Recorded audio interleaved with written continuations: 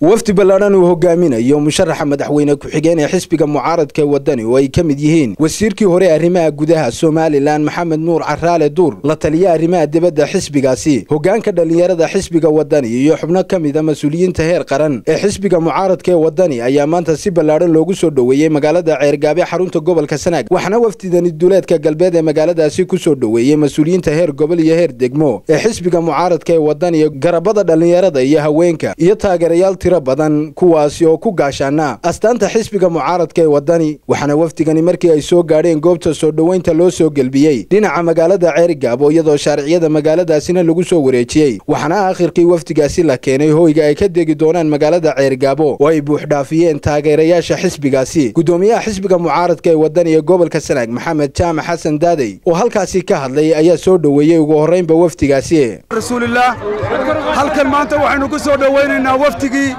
xusbiga waddaniga uu hoggaaminayey musharaxa madaxweyne. Ku-xigeenka waxaan leeyahy reer ceerigaabo maanta waxaa muujiseen waxaydaan hore u muujin. Waxaannu idinku hambalyaynaynaa sida aad maanta u soo dhowaysaan wafdigan waxay noo soo socdaa musharaxii madaxweynaha. Maanta ayay muuqatay. Cidda hoggaaminaysa cidda iska leh xusbiga degmada ceerigaabo ama gobolka sanaag. Waa la kala baxay. Sidoo kalena waxaa halkaasi ka hadlay mas'uuliyiin kala duwan oo ka tirsan xisbiga waddani kuwaasi oo ka mahad celiyey soo dhowaynta ay kala kulmeen bulshada magaalada ceergaabo ay reer ceergaabo u soo dhoweeyeen. Wafdiga uu hoggaaminayo musharaxa madaxweyne ku-xigeenka ambasador maxamed cali waa aragtaan. Waantu waa maalin cad waxa weeye waxay u quusgoysay. Nin walboo kale u quusgoysay. Waa maalin ceergaabo caddaysay inay waddani tahay. Waxaynu halka ka mahad celinaynaa shacabkii ballaadhnaa ee ilaa garadag ilaa halka aannu joogno isku xidhnaa ee joogay. Nasiib darro laakiin ay ka muuqatay diifta iyo dhibaatada iyo mashaakil ka muuqday. Waxa weeye walaalayaal. Madaxweynaha reer somalilan gaar ahaan shucuubta reer sanaag oo meel gaara aniga kaga taalla waa gobolkaygii labaad deegaankaygii labaad dadkaygii labaad. Maanta waxaan raacinayaa waxaan soo maray ceelafoyn oy colaadi ka muuqato. Nabad baan ugu baaqaya oo kulmiyihii madaxweynihii aannu jeclayn axmed maxamuud siilaanyo waannu sagootaynaa kulmiyana waannu sadqaynay mid waa nayuu kulmiye iyo kii tartamayey maanta waa la sadqeeyey labadaa gobol baa sadqeeyey. Inaad asxaabtiinna ehelkiinna reerihiinna kulli aad ku fartaan inay maxaahayd kaadharhka qaataan. Kaadharhkaas waxay idinku anfacaysaa inaad maxaahayd madaxweyne isbeddelkeena aya doorataan.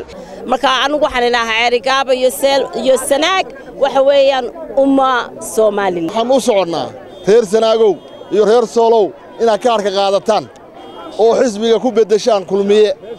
Reer sanaagow sidaasaannu doonaynaa maanta.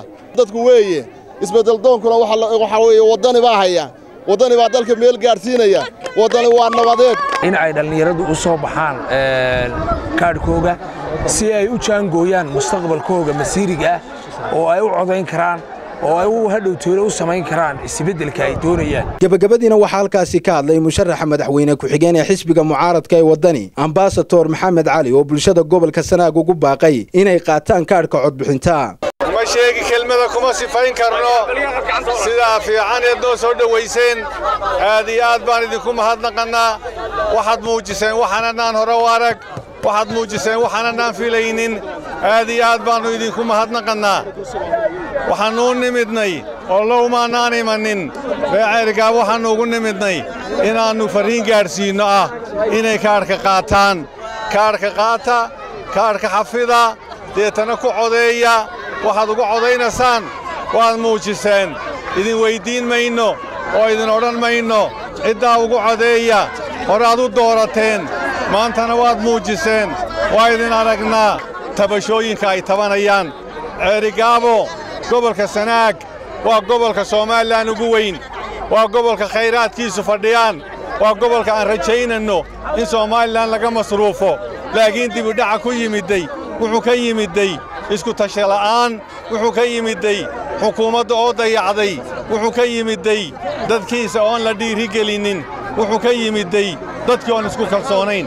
Waxaannu soo celinaynaa kalsoonnida dadka waxaan soo celinaynaa in gobolku noqdo gobolka somalilan laga masruufo cabdiraxmaan axmed ilsar star t v magaalada ceergaabo